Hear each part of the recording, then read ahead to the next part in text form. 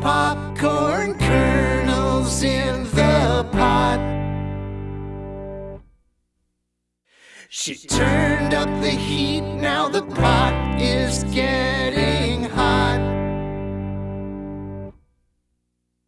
And then those popcorn kernels.